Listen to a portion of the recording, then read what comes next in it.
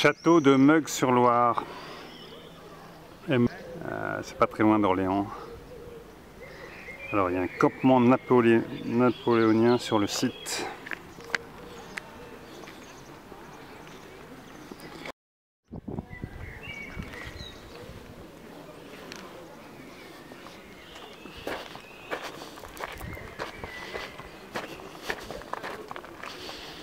Ici, la tente du chirurgien, donc euh, âme sensible, s'abstenir. Oula, tous les instruments pour couper des bras, des pieds. Oh là là, mais c'est une horreur absolue ici.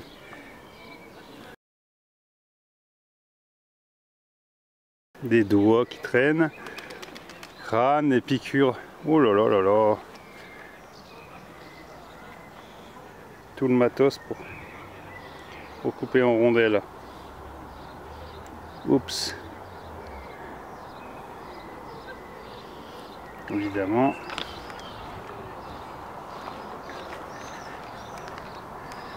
Un cadavre qui traîne là. Et que fait la police?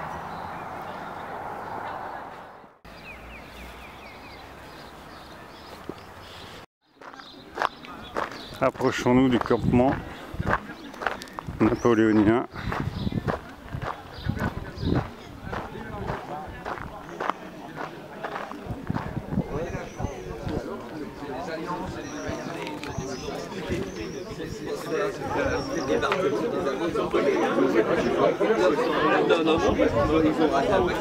Moi de France, il y avait tout un recueil des, des victimes. De... Bah, Pétain, il, il était applaudi à cause de ça d'ailleurs, à 5 km département. Voilà la troupe.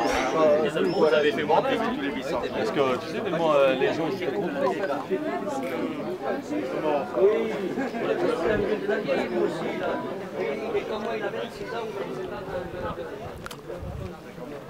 Les fusils rangés. Ah.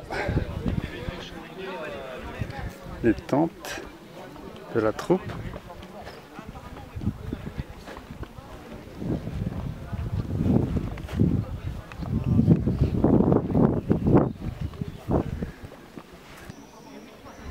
L'arrière du château. Et donc le campement napoléonien. Doucement. Ah, ça t'a fait peur. Bonjour, c'est quoi l'occasion de ce déguisement? C'est une euh, commémoration par rapport à un fait historique qu'il y a eu au château et un rassemblement de Une association. d'une association du coin qui a invité un peu d'autres personnes pour euh, profiter de euh, 51e, euh, c'est donc euh, sur des monuments, sur des sites historiques. Ici ou ailleurs, un peu partout ah, partout. Vous avez l'occasion de voy- voyager de temps en temps alors Je sais Waterloo. pas, Wa- Waterloo par exemple, vous y allez tous les ans Oui, oui, oui, Waterloo. Après, il y a Waterloo, pardon, c'est à quel moment de l'année C'est en Euh, hiver, en été Waterloo, c'est. C'est l'interrogation écrite. Non, non, non, c'est 18 juin. 18 juin Ah, excusez-moi. Ok.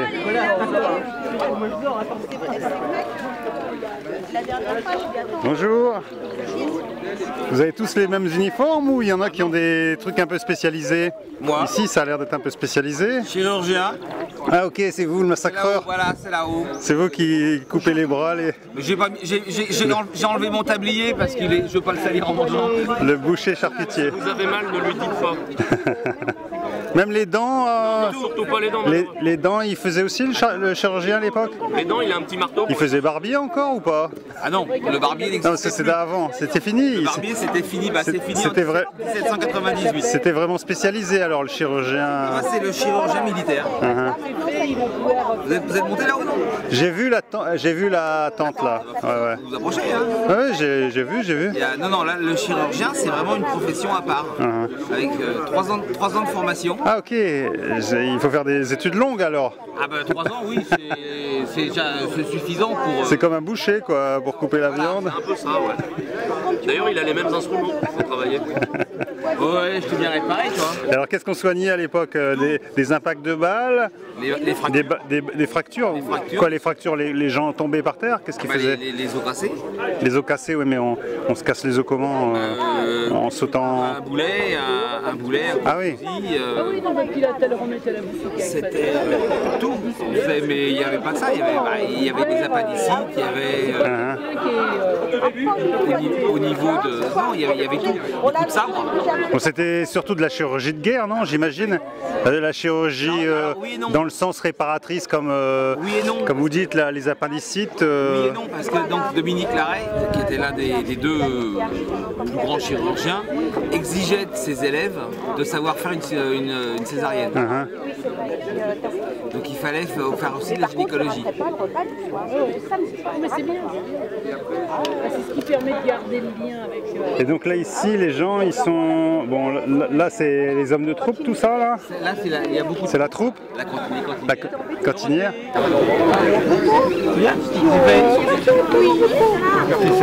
Je suis la cantine. Bonjour Bonjour monsieur. La cantinière du service de santé. Du 3e régiment 6 de voltigeur. Donc c'est vous qui servez les ricards? Bois. Un peu. C'est le potage. euh, et puis, Alors qu'est-ce qu'ils mangeaient de bon les soldats napoléoniens pour être en pleine oignons. forme Du pain, des oignons. Du pain, des oignons Les oignons, c'était, il y avait combien c'était C'était, énorme. La ration d'oignons par jour, ça devait être 360 grammes d'oignons. Ils n'avaient pas des problèmes d'estomac en mangeant tous ces trucs-là Ça empêche, c'est, c'est bourré de vitamine C Oui, oui, mais et ça empêche, c'est un immunostimulant. Donc ils avaient un, il y avait beaucoup de pain, beaucoup de pain, beaucoup d'oignons et puis de la viande quand, ils- quand ils pouvaient. et ils buvaient quoi De l'eau ou du vin? C'était, c'était du, enfin, c'était ce qu'on appelle en bourbonnais le, le vin de trace. C'est, une espèce de, de vin coupé d'eau. euh, et aussi on dit que la cantinière euh, leur distribuait avec le petit tonne de lait. J'ai pas eu droit. là-bas. Non mais il n'y a rien, il est, il est cassé. Ah bah voilà. Mais oui, tu vois, c'est des Ah bah voilà. Et puis en fait, euh, les cantinières vendaient des articles de nécessité, Elles vendaient, donc c'était des commerçantes ambulantes des commerçants officiels. qui accompagnaient la- la- l'armée en fait Et elles avaient une patente, une médaille officielle, elles étaient euh, choisies par le comité de guerre. Et puis elles pouvaient officiellement faire un petit commerce avec euh, des prix Elles vendaient aussi par exemple euh, du papier et du papier. Elle faisait, elle, fais- elle fais- elle faisait pas la, elle faisait pas la poste. Non, non. Il y avait, il y avait des postiers euh, aux armées. euh. sûr. La poste aux armées, oui. Bon, ils étaient pas débordés, la moitié des mecs savaient pas écrire. Oui, oui, j'imagine. Et puis à l'époque, euh, enfin début 18, 19e, euh, ouais. Après, euh, ça a dû évoluer, mais. Par contre, elles ne devaient pas vendre l'eau de vie. Hein. Elle devait la donner et ça- elle ne devait pas couper l'eau de vie avec de l'eau. Uh-huh. Elle pouvait être bannie du c'était- ça, c'était la théorie. La pratique, euh, Enfin, je sais pas. C'est sacrilège. bah oui. Ouais. Alors elles étaient chassées du régiment si elles, elles, ont- elles, elles étaient surprises à À trafiquer. chevaux. Au niveau uniforme, là, en, en vert, c'est quoi là? En vert avec le, le bicorne mis de travers. Le, le bicorne, c'est une coiffure comme une autre. Hmm? Le bicorne, c'est une coiffure comme une autre, comme le shako. En fait, avant le shako qui est sur les fusils, on avait des bicornes jusqu'en 1810 à peu près. À, à l'origine, c'était une coiffure de cavalerie. Et elle a été distribuée à l'infanterie à partir de, de 1810, 1806 même. pardon. Et euh, pour remplacer le- les bicornes, parce que le, le bicorne euh, ne protège pas d'un coup de sabre, un peu mieux.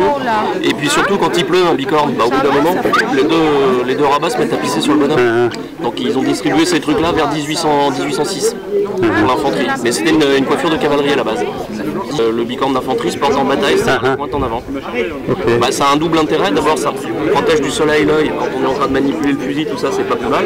Et puis, euh, si on le portait dans ce sens-là, quand on a le fusil sur l'épaule, on arrêterait Ça de gêne dans la Ouais. coiffure. Par contre, le bicorne, c'est très bien pour former les jeunes recrues à manier le fusil, justement, parce que comme il y a la pointe qui gêne, ça les oblige, quand ils font passer l'arme d'un côté et de l'autre, à faire des, des gestes bien larges, bien propres, plutôt que de, de se le passer devant le nez. Ici en vert, vous, c'est quoi la, la spécialité? Il n'a pas de spécialité. Pas de spécialité? Ça, c'est le- Ça, c'est le- la, la, C'est la biode. La, de travail, ça. C'est Saro. Ah ok. Donc tout le monde, a- tout le monde a une tenue comme ça. à- à- Il n'y en a que quelques-unes dans l'unité, et c'est les hommes de corvée qui la mettent pour aller chercher le bois, le Uh-huh. travail, tout ça, pour pas salir l'uniforme. Ici, tout- ici c'était des uniformes blancs là. Alors tous, tous les soldats ouais, sont blancs, Bon, après on met, on met Parce que- la, la bivesse, parce que vous voyez sécher sur les tentes là.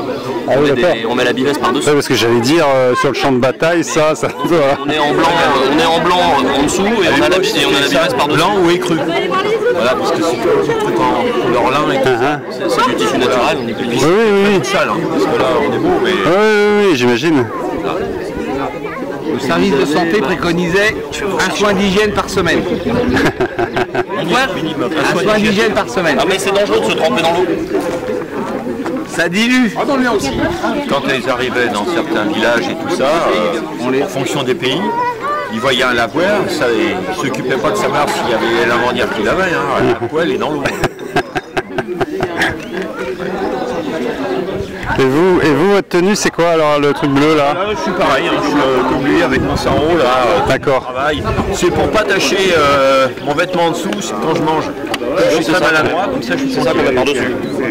Ouais, les. c'est- Une fois qu'on est habillé, on a, on a ce truc-là.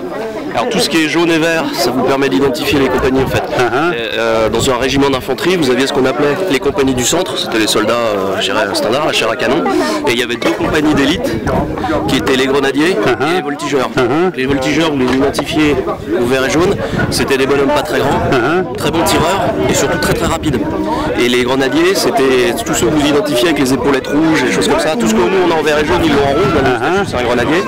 Eux, c'était plutôt des gros gaillards qui étaient là pour pousser corps à corps. D'accord. On a chacun nos, nos spécialités, donc eux c'était plutôt vraiment le combat, corps à corps. Nous on partait devant sur le terrain euh, dispersé pour aller harceler l'ennemi. Et puis dès que ça commençait à chauffer, on venait se regrouper avec l'unité pour faire euh. On nous appelait des voltigeurs parce que comme souvent on était isolés sur le terrain et qu'on se prenait, au bout d'un moment on les agaçait donc on se prenait une contre-attaque, nos cavaliers venaient nous récupérer, ils nous attrapaient par le bras au passage et ils nous jetaient en croupe, voltigeaient en croupe du cheval.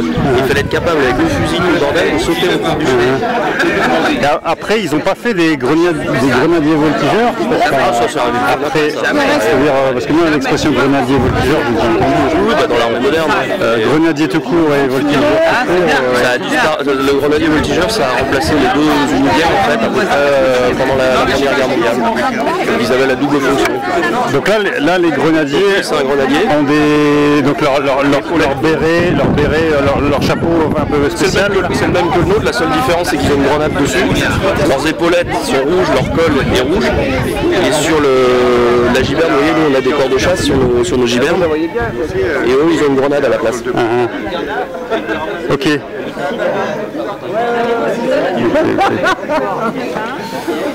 Et l'infanterie euh, classique, c'est-à-dire les compagnies du centre, euh, donc eux euh, n'ont pas tous, ces accessoires de couleur et surtout ils ne portent pas le sabre.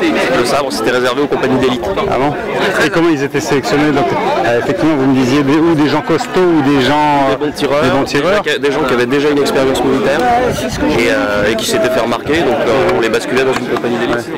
Donc là, vous êtes là toute la journée. On est là tout le week-end, on est là tout le week-end. Vous dormez dans les dans les tentes On dort très bien dans la paille. Oui, oui, oui, j'imagine. On n'a jamais entendu une vache se plaindre de son étable. Non, non, non. Si vous avez de quoi survivre. Alors vous voyez, l'avantage aussi de, de tous ces galonnages qu'on a dans tous les sens, c'est qu'en fonction de ce qu'il y a sur, le, sur les coiffures, on sait si on a affaire à un officier, un sous-officier ou un simple soldat. Les soldats, euh, les soldats, les soldats, les soldats, par exemple, le, le bonnet de police qui est galonné de rouge. Là, on a du galon doré, Ouais. et avec le motif du galonnage, on sait qu'on a affaire à un sous-officier, on a affaire à un D'accord. sergent-major. D'accord. Unteroffizier. Unteroffizier, vous êtes quoi Vous êtes belge Vous êtes allemand C'est pire que ça. Alsacien Ouais. D'origine- D'origine, hein, d'origine. hein. Donc là, euh, sergent-major, ça, ça correspondrait à quoi aujourd'hui? Un major, major. Major. Oui, c'est le dernier grade avant de passer. Non, il y a Au- au il y a adjudant, adjudant, adjudant major aussi, mais c'est pas. C'est des grades qui ont un peu disparu. En fait, quand on dit major, c'est une distinction, c'est plus après. euh, c'est plus un grade, c'est une distinction. Ah, ah. C'est un sergent. Ah oui, oui, oui. Un sergent haut de gamme, enfin qui a, Ou qui a de l'ancienneté, de la bouteille qui sait faire, qui, Uh-huh. qui peut manier, qui peut enseigner. Il Voilà. lui manque encore des points pour passer au grade du dessus, mais il Ouais, on veut pas lui donner, on veut pas lui donner le grade de lieutenant ou d'adjudant, mais. Souvent on leur donne pas, c'est parce qu'ils picolent. tu vois. Oui, c'est en, en fait c'est une distinction, euh, c'est comment dire, c'est le bâton de maréchal euh, des Voilà, sous-officiers quoi. la- voilà, c'est ça. Quand on dit major, major, on dit, euh, bah, souvent on dit pas sergent major, on dit major. Quoi. Donc, donc ça c'est sous-officier, en, en rouge là-bas, c'est la troupe. C'est la troupe, le colonel, vous voyez, il a le galon doré aussi, mais beaucoup plus large. Le, le, le pompon est complètement doré, enfin ouais, donc il y, a des- il y a des repères visuels comme ça. À côté, à côté, il est sergent, il est sergent, donc il a un galon doré aussi. Donc les, les grades se voyaient sur le chapeau en fait. Bah, avec ce voyez sur l'uniforme, Oh, sur le chapeau, mais quand on est en, en chemise Ouais, comme ouais, ça, on ouais. est décontracté, avec le chapeau on identifie tout de suite. D'accord. Et puis après il y a tout le, le principe des galons sur les manches. Comment tu fais pour avoir un habit veste toujours aussi propre, toi Tu l'emmènes chez le. Tu l'emmènes chez le, chez le pressing Non, j'abats l'ennemi avant qu'il vienne au corps. J'ai un bon coup de fusil moi monsieur. Non, parce qu'il y a un truc qui est tout neuf, moi ça me pète toujours. Qu'est-ce que j'allais dire Quand vous faites des, des manœuvres sur le terrain, je sais pas, si vous allez à Waterloo, On a été dernière, oui, on vous salissez, vous salissez. Oui, on salit, ouais. On brûle, on salit, on. Bon, s'il pleut, après ça dépend de la météo. Bah, quand il pleut, c'est. Ouais. C'est pourri, ça déteint, le rouge il déteint, tiens. Pourquoi C'est- fabriqué à la mode de- d'antan Oui, Oui, oui, oui. Avec, des, avec des, cou- des, teint- des teintures naturelles Des teintures qui déteignent. des teintures qui déteignent. Comme- Un peu comme les. En fait, c'est du, des- c'est du vrai drap de laine, c'est pas du tout du synthétique, et les teintures vont avec. C'est de la laine. hein. Non, parce que par exemple, au, jour d'aujourd'hui, on peut acheter des chemises qui viennent d'Inde, par exemple. Souvent, elles sont faites avec des couleurs naturelles ou des trucs Mais qui, qui tiennent- déteignent. qui tiennent qui pas. tiennent. Bah, vous voyez, là, le col, Ça, ça avec, tient pas non avec la transpiration, tout ça, le col a fini par déteindre. Uh-huh. Les bas de manche euh, perdent leur couleur aussi à force. Oui, après ça se passe. hein. Ça, tout ça, ça se Après c'est même ça, plus ça rouge, après c'est même plus rouge, ça devient rose. hein. D'ailleurs il y a Moustache là, Moustache, il a 25 ans ou 20 ans de. Il était bleu son uniforme. Il est- il- maintenant il est complètement dé- délavé. Il, Lequel? Celui, moustache là, marron. Il était bleu comme ça avant. D'accord. Voilà. Et C'est le maintenant. soleil, euh, la pluie. c'est son Oui, le soleil, le soleil euh, fait des, des le colorés. soleil, la pluie, il a fait plus de 20 ans de campagne, ce gars-là, avec son même habit veste. Et ça, ça, re- ça, c'est représentatif de l'armée napoléonienne de l'époque. Hein, Ça, c'est vraiment représentatif. quoi, le bide Non, non, je parle de l'habit veste. Non, c'est- il n'y a pas de C'est-à-dire- particulièrement cambré. Et si on met celui-là à côté, ça peut rien avoir, quoi. Oui, oui, effectivement. Effectivement. Par contre, j'ai les épaulettes là, ça y est, qui commence. Non, puis lui, il a du noir de cou sur la chemise, là. Il a du noir de cou comme te... Ça part plus. Ça part plus, hein. C'est c'est ciré. Ça coûte cher de, de se faire un uniforme comme ça? Ça dépend de la couturière qu'on connaît. Pas donné. Un C'est- fantassin c'est- complet c'est- avec l'armement, c'est autour de 3000 euros si on achète tout. Ouais, si on Qu'est-ce achète que tout. j'allais dire? Vous, vous Mais on ici. fait beaucoup de choses par nous-mêmes. Ouais, non, mais vous ici, non mais je veux dire, vos uniformes sont normalisés là. Oui. Donc c'est à dire que c'est quasiment, réglementaire. c'est quasiment industriel la fabrication Non, non, ou non, alors non, c'est non, une non, fabrication non, non, non. artisanale. C'est artisanal et c'est pas tous les mêmes couturières qui ont fait les habits vestes. D'accord. Donc Moi, euh, la mienne, elle m'a pris euh, pour refaire un truc. Je lui ai donné la- le vieux que j'avais parce qu'il était complètement étriqué et puis déchiré. Elle m'a repris euh, pour faire le mien 300 euros.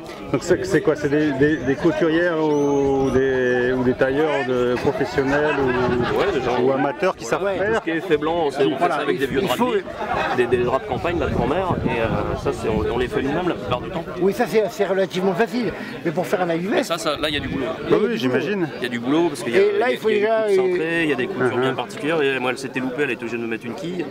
et il faut faire, euh, il faut une couturière déjà qui a euh, beaucoup d'expérience. Donc il faut, dans- donc il faut, c'est quelques centaines d'euros. Ça, c'est dans les 300. Quand on fait comme ça, euh, tranquillement, c'est dans les 300 euros. Moi, j'ai Après, il y, a payé des- 300. il y a des- il y a des boutiques spécialisées qui vendent pour les reconstituteurs. C'est le double. C'est le double. Hein, Et c'est pas mieux fait en plus. C'est pas beaucoup mieux fait, non. Parce que Quand ça arrive, il y a toujours à rectifier ou à revoir. Un bonnet de police, si on le fait pas nous-mêmes, si on l'achète, c'est autour de 80 euros. ouais. Mais ça, ça peut coûter que dans les 80 euros. Et qui est-ce qui vend ça? Il y a des magasins spécialisés qui vendent des Oui, oui, uniformes? il y a le chaboté, il y a... Chaboté, Guinut. euh, C'est où ça? C'est à Paris? C'est où le ça? Chaboté, Marseille, il est à Paris, Marseille, oui. Antique Costume, il est à Nantes, je crois. Oui. Euh, Donc dans les grandes villes, on trouve ça. a, comment à s'appelle? Marseille, Fallio, la couturière, elle est à Lyon.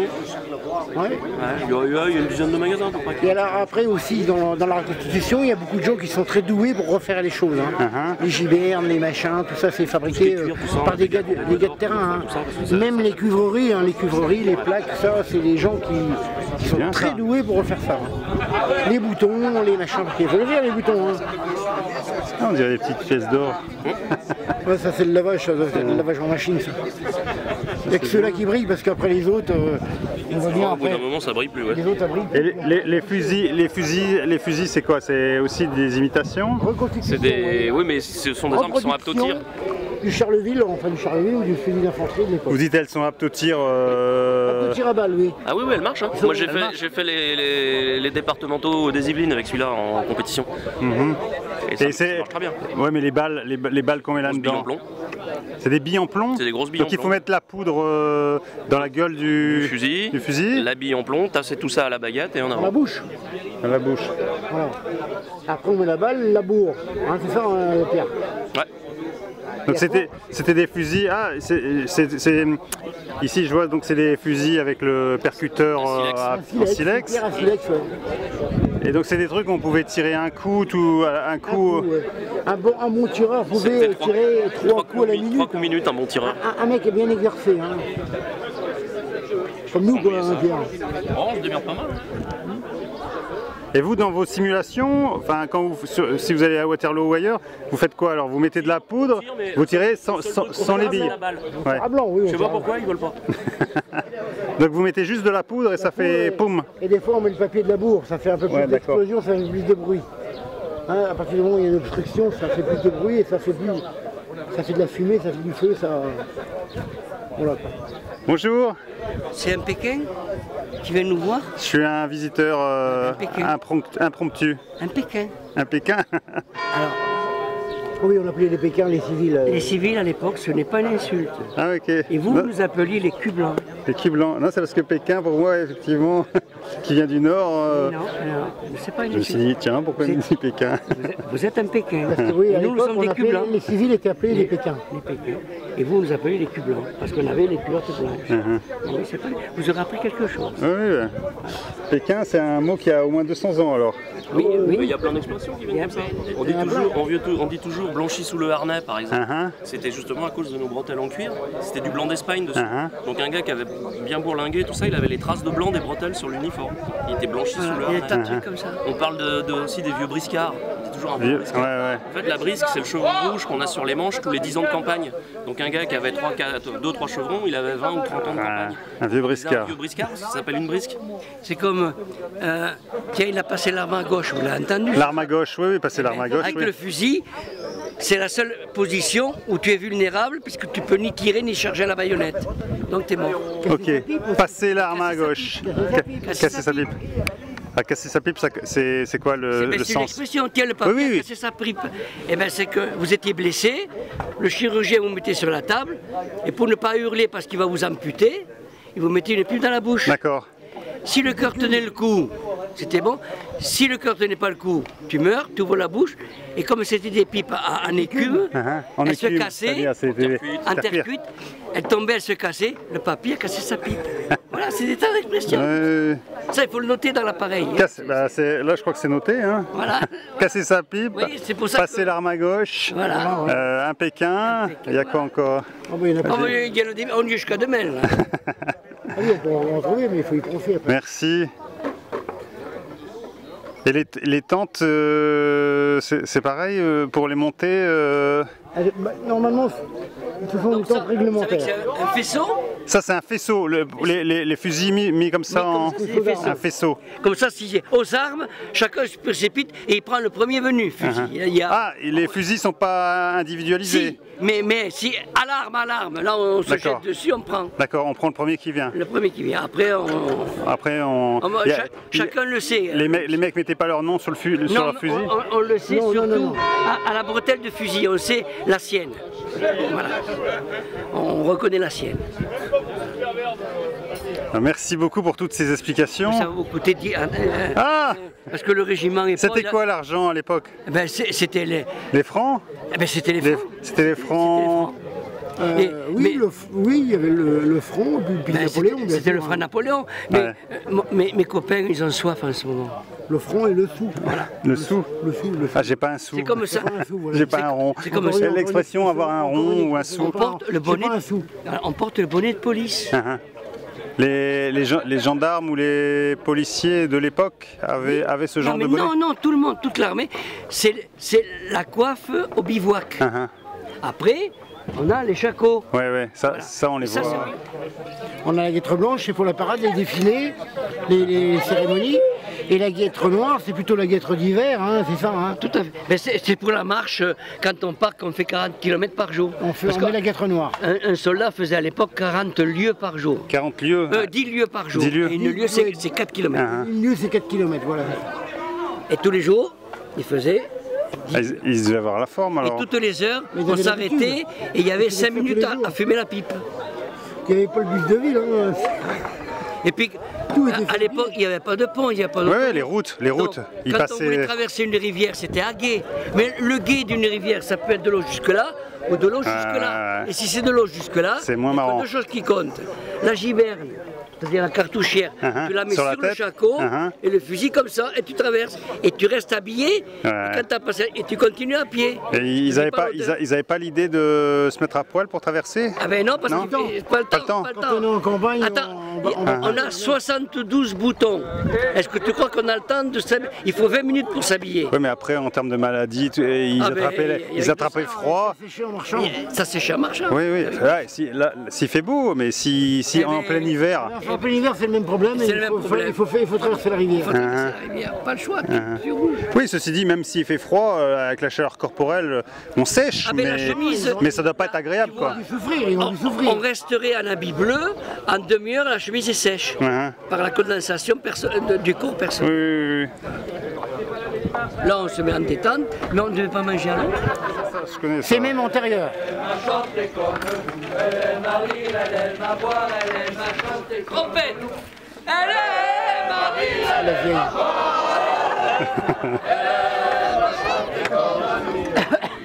32 ans, c'est le, c'est notre euh, le plus vieux de la bande. Moi nos genoux Il a fait Waterloo l'année dernière où il y avait 6000 reconstitueurs. Euh, il en a chié, mais il a fait le boulot jusqu'au bout.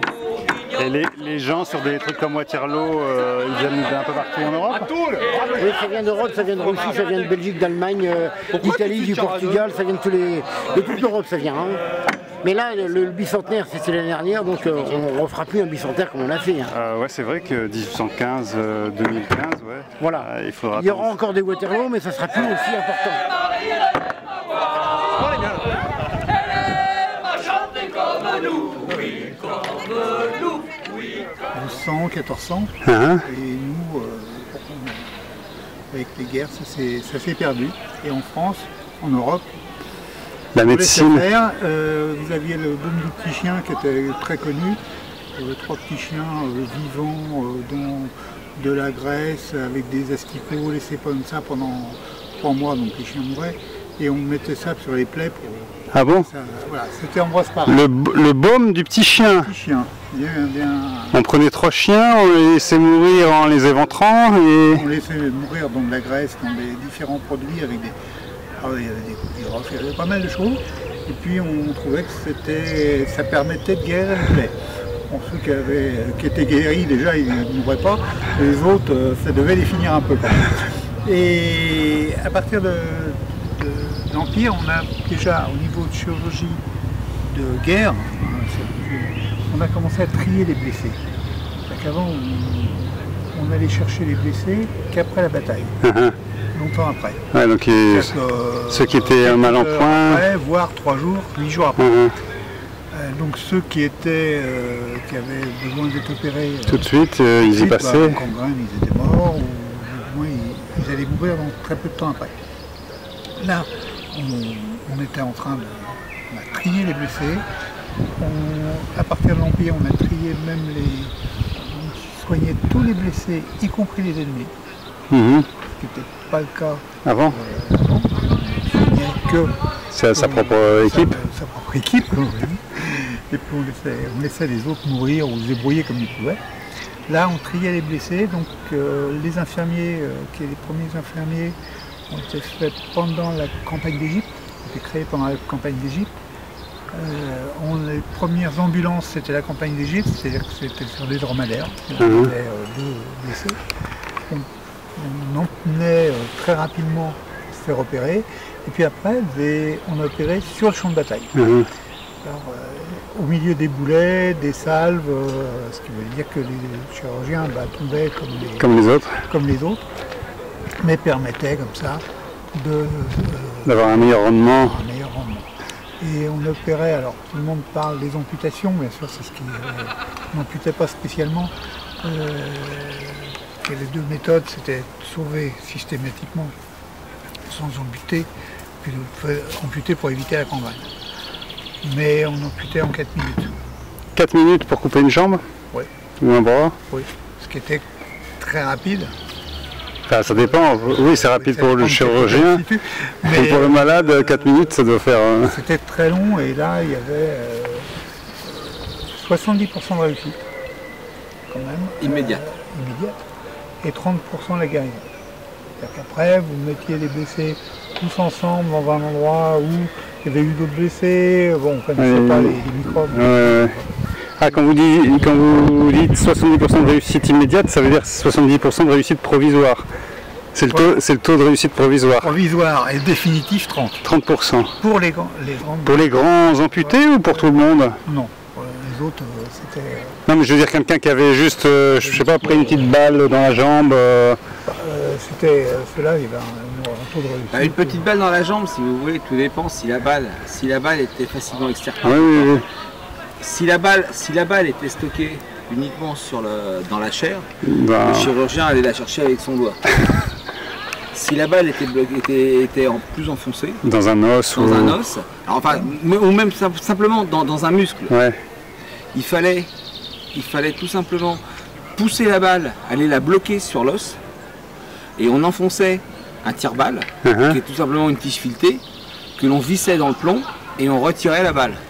Et là, c'est assimilable, c'est presque assimilable à une, à une fracture, Uh-huh. parce qu'on on met, on met l'os euh, au contact de. Donc là, il faut désinfecter. Mais on estime à peu près sur les, sur les grosses opérations 30% de survie. Uh-huh. Ce- la, la survie dépend énormément de, aussi des circonstances. Si le blessé est un petit peu riche, et il avait de quoi payer des antalgiques, Uh-huh. Donc il y avait quoi comme antalgique au début du 19e Le laudanum. Le, le laudanum, c'est de- un dérivé, c'est un dérivé de l'opium. Uh-huh. C'est tout ce qu'il y avait. Et on pouvait. Et, Mais c'était efficace? Ah bah c'est de l'opium. Donc les gens étaient dans le gaz. euh, C'est de l'opium.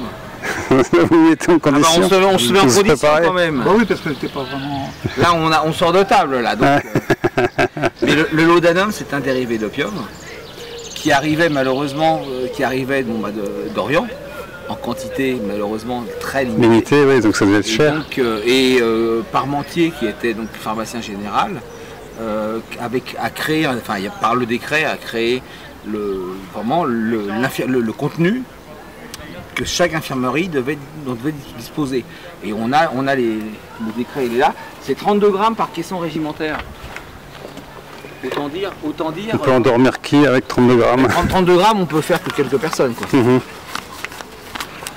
Là, c'est voilà. Voilà. Et là, sur le, sur le, le laudanum, laudanum liquide de sidalam, 30, 32 grammes par caisson régimentaire. En 32 grammes, vous faites quoi?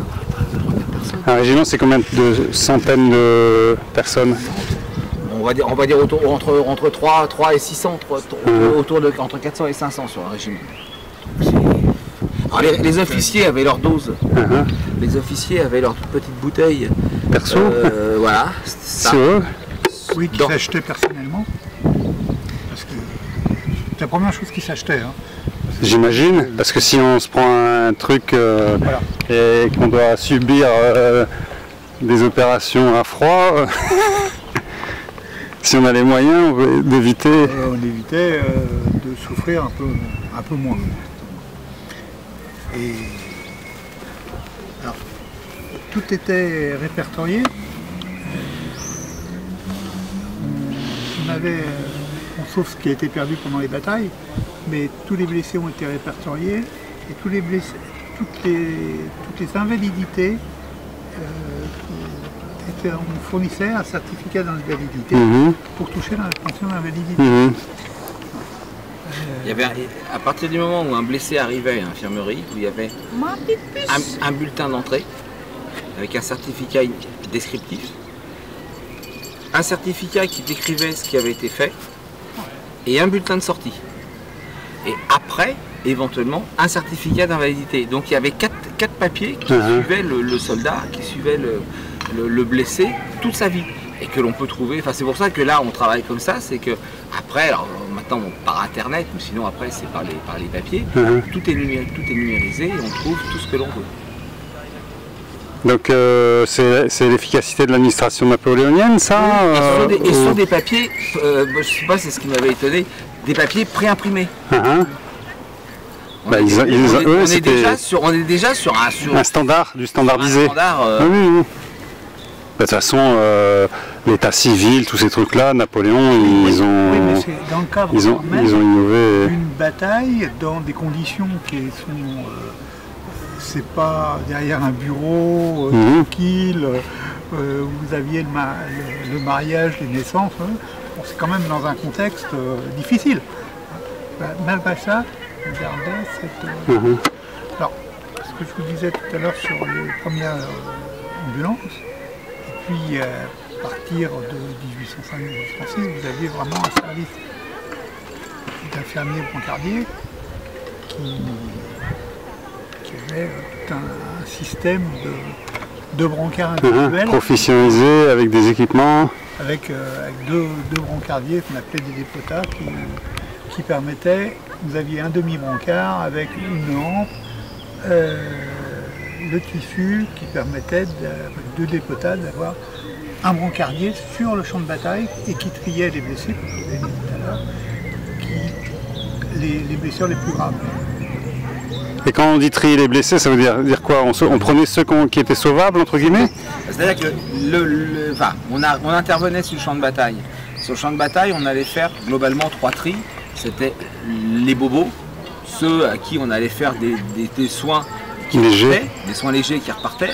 À l'inverse, les soins de- d'extrême urgence où on allait vraiment donner les premiers soins, on les mettait un petit peu à l'abri et on envoyait une ambulance légère. La création des ambulances légères de, de l'arrêt. Donc c'est vraiment une création du Premier Empire où là on a l'idée d'envoyer une charrette. euh, C'était ni plus ni moins qu'une charrette. Enfin, je- je- ni plus ni moins qu'une charrette avec deux paillasses. Mhm. Et on allait les chercher tout de suite sans attendre la fin du, du combat. Mhm. Ça c'est vraiment l'innovation du Premier Empire. C'est on n'attend pas la fin du combat pour intervenir. Et puis après entre les deux, vous aviez euh, tout le donc c'était des premiers soins où on mettait le blessé un petit peu à l'abri du champ de bataille. Et puis là pour le coup on attendait que la bataille soit finie pour aller le chercher. On n'allait pas prendre de risque. Mais il y a vraiment une classification une, une classification une évacuation sanitaire. C'est les bases de l'Evasan. Donc ça c'est l'ambulance légère. L'ambulance à deux roues. L'ambulance à deux roues. L'ambulance de l'arrêt. Il est du Kazakhstan le mien. Il vient du Kazakhstan. Un samovar avec euh, pain, avec des chevaux et une Sinon, enfin, sinon, je sais pas si vous, là, dans, dans les instruments, le instrument typique du Premier Empire, c'est Ce- le, le rétracteur de chair. Ça là, ici Ça, voilà, rétracteur ça. de chair. Alors voilà, ça, ça, celui-là, bon, ce- ce- celui, voilà, ça c'est la forme typique. Ça permet de faire quoi? De faire une. Voilà, euh, le rétracteur de chair, le rétracteur de chair, donc ce qui se passe, c'est que le chirurgien donc, commence par couper, par couper la, la- la circulation ouais. avec un garrot. ok. Donc on, on bloque, on bloque la circulation. Ensuite, avec un couteau, on va couper, on va mettre l'os à nu. On va mettre l'os rigoureusement à nu. Ça, c'est pour l'amputation. Ça hein. c'est pour l'amputation. Mhm. Donc euh, et ensuite, l'assistant chirurgien emprisonne l'os dans ces deux valves. Ok, donc ça, le, le- le petit rond au milieu, ça, C'est juste pour passer- l'os. l'os, juste pour passer Je me l'os. disais, mais, le- mais le- pour le bras, ça doit être un Non, peu serré. juste pour passer l'os. Et donc ensuite, l'assistant du chirurgien gratte l'os en remontant pour décoller les muscles des os. Une fois que c'est remonté, on se sert de cette, on se, on se sert de cette assiette, de cette, cette- ce bivalve, comme un guide lame pour couper. On l'enlève et on rabat les muscles pour faire un moignon. Mhm. Et ça permet de gagner, ça permet de gagner, de faire des, des, des- des- comment dire, des amputations Plus propres bien, bien net, de gagner du temps et de gagner, enfin, de gagner en confort. de-. Donc l'adjudant-colonel, Adjudant-commandant. adjudant-commandant, Voilà, pardon. ah, bah non, D'ailleurs, à l'origine, on s'appelait adjudant généraux jusque sous le consulat. Et comme on avait tendance à se faire passer pour des généraux, Napoléon avait dit on fera bien spécifique colonel, adjudant commandant, généraux. Et on était aide de camp des généraux et des maréchaux. Et en plus, on avait la fonction de grand prévôt, Mhm. c'est-à-dire qu'on pouvait diriger la police impériale. Mhm. Et si par contre un, général Ah, tombait au combat, un adjudant commandant pouvait la mettre de le remplacer. ah, Et il y en avait deux mignon. sortes. L'adjudant commandant qui avait en plus euh, l'aiguillette, Mhm. c'est qui pouvait en plus Non, non, appartenir à la garde voir, impériale. Elle vient, elle vient de un truc. Et le plumet blanc, on l'a eu jusqu'en 1812, après on l'avait. Et c'était, et donc elle voulait me, me- me vendre ces petits ouvrages. Adjudant-commandant. Donc ça, les gra- tous les grades ont changé par rapport à aujourd'hui en fait. On était un peu les portables de l'époque, on courait tout le temps. On avait des fonctions administratives. D'accord. Et au moins ça passait, ça passait partout. Oui, Il y ça avait passait, pas ça passait partout là. Il n'y avait pas des problèmes de réseau. Attendez, je connais peut-être à passer certains endroits. Oui.